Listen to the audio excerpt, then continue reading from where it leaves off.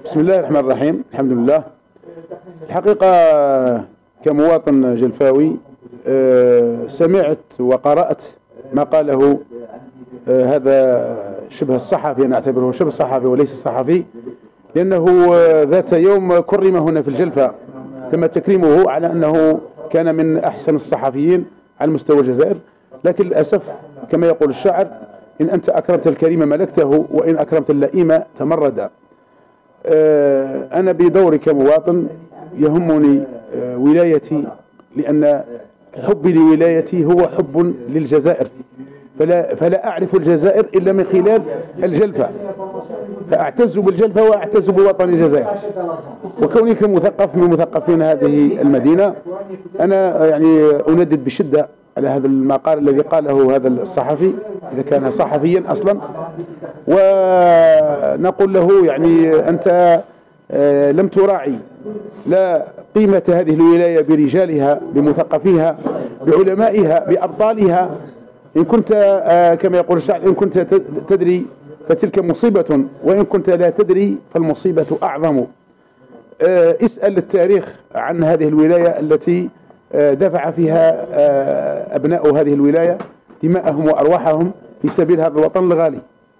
اسأل عن هذه الولاية اسأل علماءها الذين برزوا في مختلف العلوم وهم كثيرون ولا يمكن ذكرهم في هذه العجالة.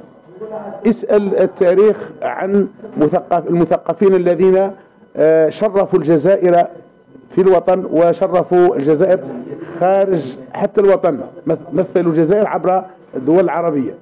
آه، بودي أن أرد على الصحفي الذي تكلم عن الجلفة بكلام مشين أن أقول له بأن ولاية الجلفة أكبر منك ومن أمثالك. هذه الولاية جزء لا يتجزأ من الجزائر الحبيبة ونحن فخورين بأننا أبناء هذه الولاية وفخورين بتربية الأغنام.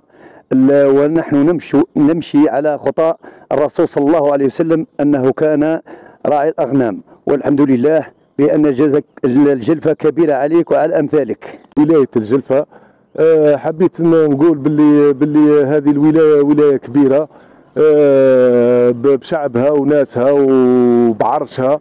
آه، حبيت نرد على هذا برك اللي اللي اللي كان يهضر على ولايه جلفة، ولايه جلفة خرجت خرجت آه، علماء خرجت خرجت دكاترة خرجت ياسر في المستوى.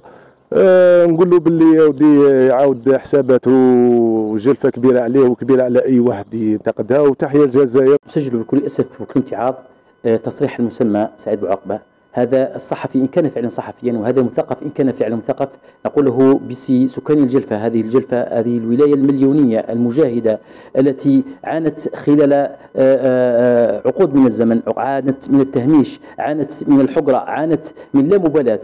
آه، ليأتي هذا المثقف أو شبه المثقف ليتنطع ويذكر الجلفة بسوء. نقول له إن الجلفة أكبر منك بكثير. نقول أنه تاريخ الجلفة وأهلها وأعلامها وعلمائها أشرف منك وأشرف من ما تكتب في هذه الجداريات المأجورة. الحمد لله سكان الجلفة انتفضوا هبة كره هبة رجل واحد من أجل الدفاع على شرف هذه الولاية الولاية التي ستبقى آه، آه، طول التاريخ جزء لا يتجزأ من الجزائر العظيمة. نحن نستنكر ونندد مما صدر من هذا الشخص من كلام بذيء وغير أخلاقي في حق ولايتنا وعرشنا الممتد من الغرب إلى الشرق ومن الجنوب إلى الشمال ولكن لا نؤول هذا وخاصة في هذا الوقت بالذات لأننا نعلم بأن الوطن هو المستهدف من هذه الاستفزازات.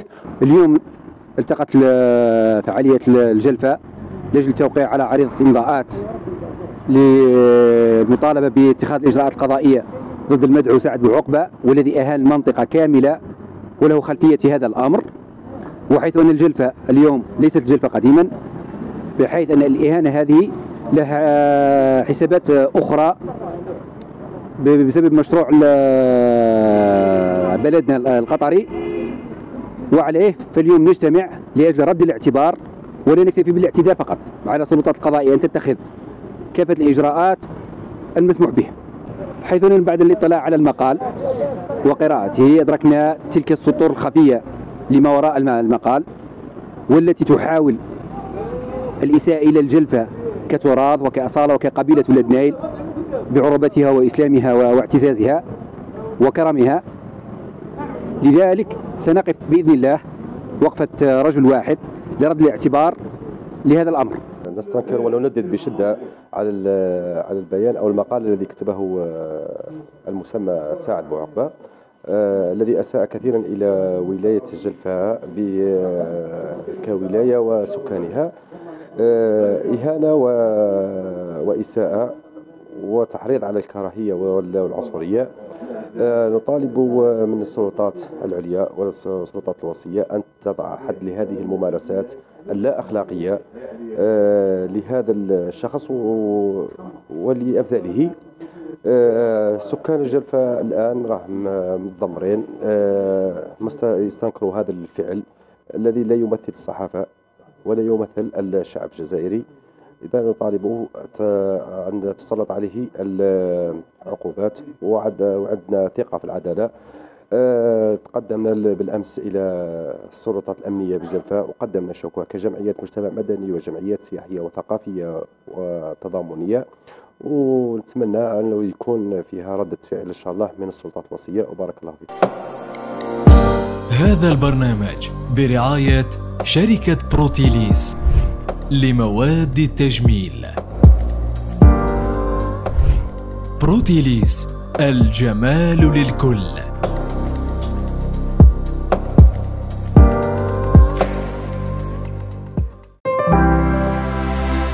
زاير تيب أول قناة إلكترونية في الجزائر.